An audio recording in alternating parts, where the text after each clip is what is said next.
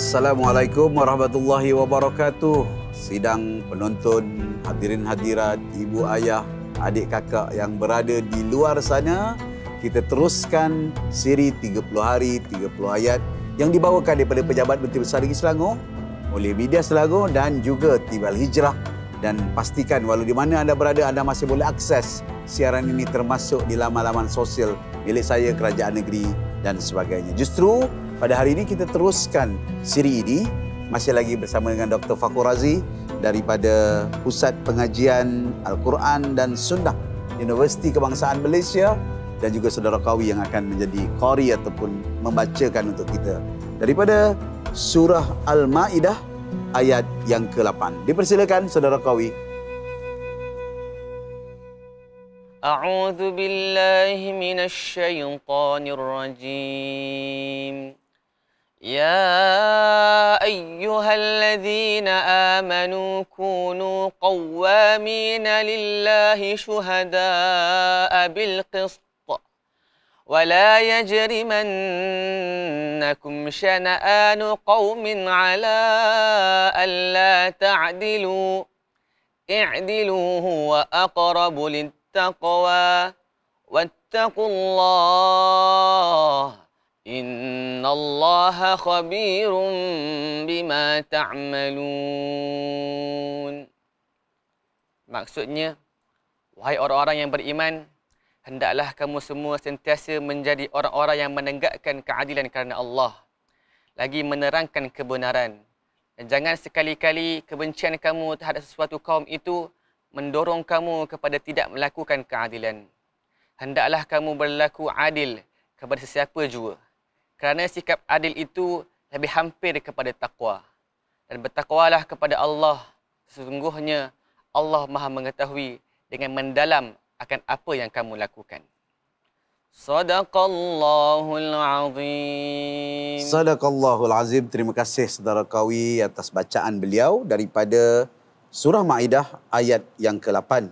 Banyak perkara yang diterangkan berulang-ulang kali tegakkan keadilan kerana Allah, bercakap menerangkan kebenaran, jangan benci hingga tolak keadilan ataupun menggagalkan keadilan kerana benci kepada satu kaum dan adil yang lebih dekat dengan takwa hmm. dan akhirnya emphasize ataupun penekanan kepada konsep ketakwaan. Jadi besar syarat ni ustaz. Tak, adil, jangan benci, jangan bercakap benar, yeah. takwa. Jadi mungkin boleh jelaskan sekuen ataupun prioritinya dan bagaimana kita menjadi orang yang adil kerana adil itu sangat hampir dengan takwa Ustaz. Bismillahirrahmanirrahim. Alhamdulillah Allahumma salli ala sayyidina Muhammad wa ala ali sayyidina Muhammad. Ayat ini Datuk Seri bermula dengan ya ayyuhalladzina amanu. Hmm. Uh, dan apa saja ayat yang bermula dengan ya ayyuhalladzina amanu secara mudah ceritanya hmm. adalah ayat Allah memujuk. Hmm. Kalau kita masih belum banyak beriman maka Allah memujuk kita berimanlah. Hmm. Kalau kita ni sudah dalam kalangan dah dalam kalangan orang yang beriman, Allah Taala menyatakan kita maknanya kekalkanlah keimanan kita.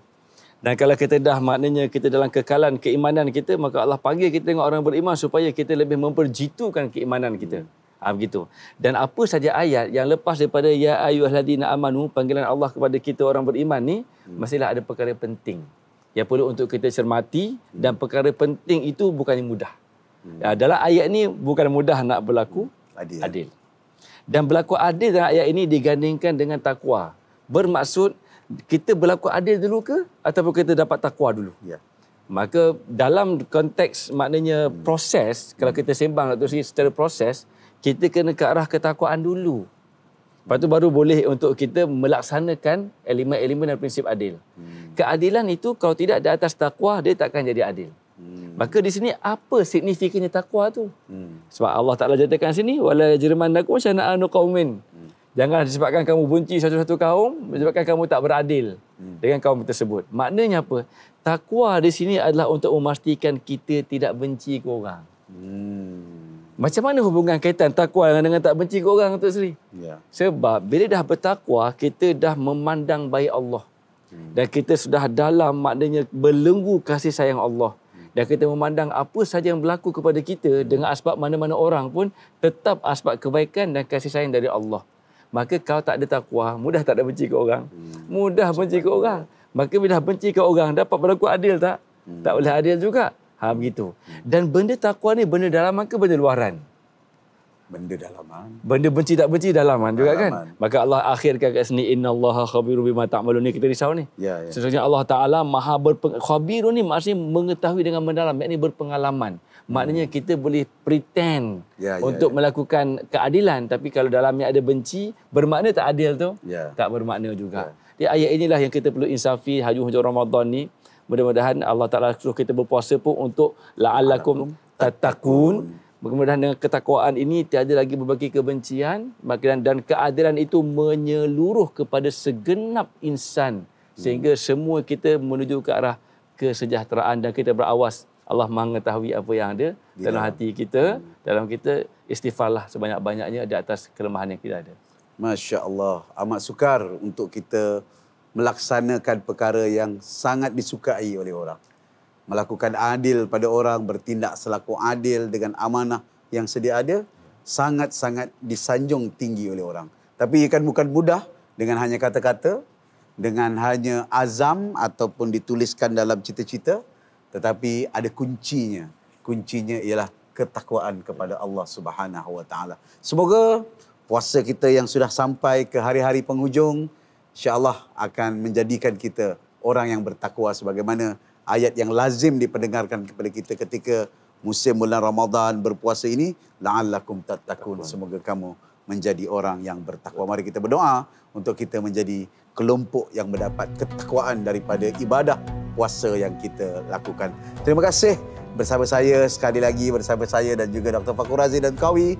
30 hari 30 ayat. Jumpa esok hari. Sekian. Assalamualaikum warahmatullahi wabarakatuh